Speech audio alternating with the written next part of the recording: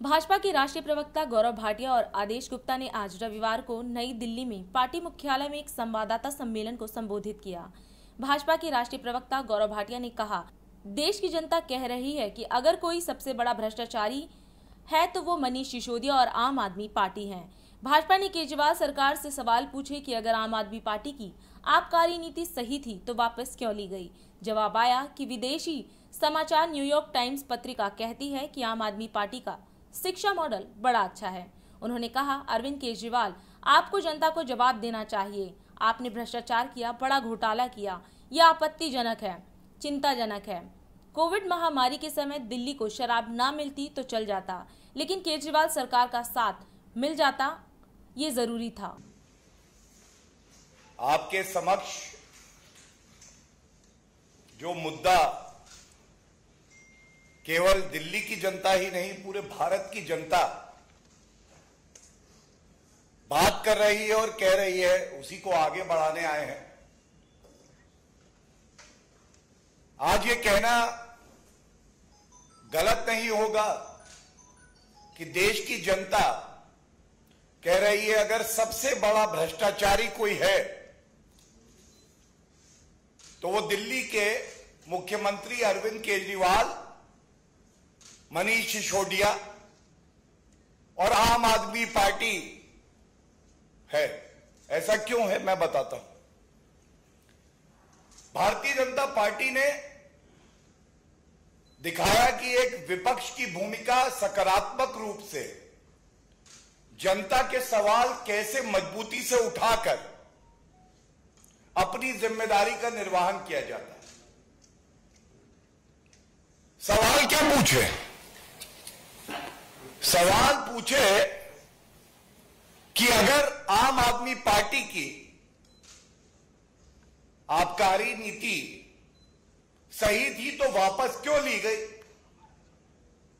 जवाब आया, विदेशी समाचार न्यूयॉर्क टाइम्स पत्रिका कहती है कि आम आदमी पार्टी का शिक्षा मॉडल बड़ा अच्छा है। सवाल पूछा अरविंद केजरीवाल जी। कोविड की दूसरी लहर आई। श्री नरेंद्र मोदी जी के नेतृत्व में भारतीय जनता पार्टी पूरे देश की जनता के साथ खड़ी हो गई। दवाई सुनिश्चित करी। अस्पताल में बेड हो, ऑक्सीजन मिले। दिल्ली के मुख्यमंत्री की कलम को, जिसको स्वास्थ्य, चिकित्सा, दवाई, बेड और ऑक्सीजन पर ध्यान देना था, अरविंद केजरीवाल की भ्रष्टाचारी कलम, आबकारी नीति पे दस्तखत करने में लगी थी। मनीष सिसोदिया वो अकाउंटेंट बन के ये देख रहे थे कि आम आदमी पार्टी के खजाने में जनता के पैसे की कितनी लूट आएगी। ब्लास्ट हो रहा है। मेरे तो बहुत कम आ रहे हैं। और एक बात कहना गलत नहीं होगा। इन, इनका बीच में ब्लास्ट हो रहा है आज भारत की जनता कह रही है आप नहीं पाप है। भ्रष्टाचारियों का बाप है और जनता के लिए अभिशाप है। आज जो सवाल पूछे जा रहे हैं, अरविंद केजरीवाल जी की नाक के नीचे भ्रष्टाचार हुआ, आपने होने कैसे दिया? जब समय था जनता के आँसू पहुँचने का, तब आप घोटाला करके आबकारी नीति क्यों ला रहे थे? क्या जनता की चिंता आपको नहीं है? केवल रुपया कमाना लूट खसोट करना, भ्रष्टाचार फैलाना आपका मकसद है, इसलिए आप राजनीति में आए थे। और इसका उत्तर ना न्यूयॉर्क टाइम्स का वो आर्टिकल हो सकता है। इसका उत्तर ना राजनीतिक द्वेष की बात करना हो सकता है। इसका उत्तर सब लोग मुझसे डरे हुए हैं अरविंद केजरीवाल जी आपसे कोई डरा हुआ नहीं सब जानते हैं कि आप कितने घबराए हुए हैं ये वही अरविंद केजरीवाल है जो रोज सुबह शाम टैक्स पेयर के रुपए से इश्तिहार देते थे टीवी पे बैठते थे और आप पूछ लिए? तीन सवाल।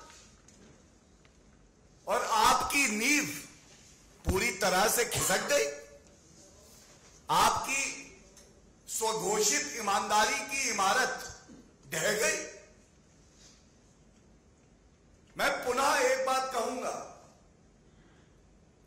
अरविंद केजरीवाल जी आपको जनता को जवाब देना चाहिए। आपने प्रथम दृष्टया भ्रष्टाचार किया, बड़ा घोटाला किया। यह आपत्तिजनक है, चिंताजनक है। लेकिन सवाल मैं नैतिकता का उठाता हूँ।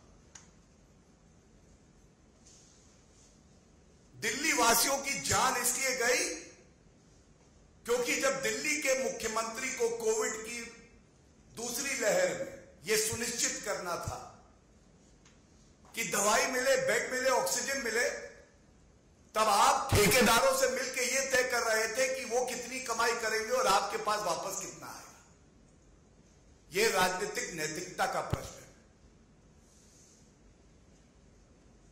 दिल्ली में शराब कुछ दिन ना बिकती, चल जाता।